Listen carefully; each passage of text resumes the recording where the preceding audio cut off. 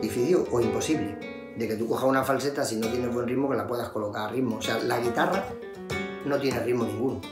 Esto es un, es un, instrumento de madera, pero si lo dejas aquí, esto no suena, ni hace nada. El ritmo lo, lo tenemos nosotros. Con lo cual, si tú no lo tienes sin la guitarra, tampoco lo tienes con la guitarra. Esto es muy importante. Tú tienes que tener el ritmo sin la guitarra. Y luego lo pasas a la guitarra. Si no, será imposible. Hay personas que quieren aprender el ritmo tocando. No, así no se aprende el ritmo. Así no aprendes cosas que están al ritmo, pero no se aprende el ritmo. Puedes aprender una falseta que está al ritmo y te cuadra de vez en cuando. Pero el ritmo lo tienes que tener. Si no, es imposible.